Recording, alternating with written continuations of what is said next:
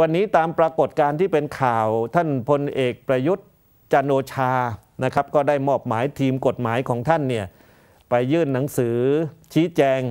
นะครับกับสารรัฐธรรมนูญครับ ซึ่งในวันที่ศาลวินิจฉัยว่าให้ท่านยุติการปฏิบัติหน้าที่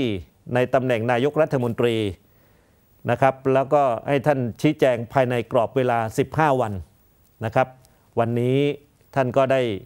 ให้เจ้าหน้าที่ทีมกฎหมายไปยื่น เอกสารหนังสือเพื่อชี้แจงต่อตุลาการศารรัฐธรรมนูญนะครับ เห็นว่ามีอยู่ประมาณสัก 20 กว่าหน้าด้วยกันนะครับ เพื่อจะชี้แจง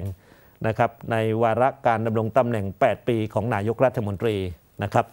แล้วก็มีคุณธนกรอดีตรองอดีตโฆษกประจำสำนักนายกรัฐมนตรีก็ไปพบท่าน นะครับพลเอกประยุทธ์ก็นะครับยังบอกว่ามีกำลังใจดีอยู่